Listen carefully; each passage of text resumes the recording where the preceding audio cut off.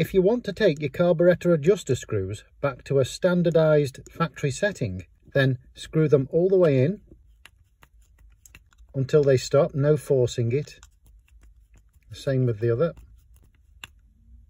And then one full turn out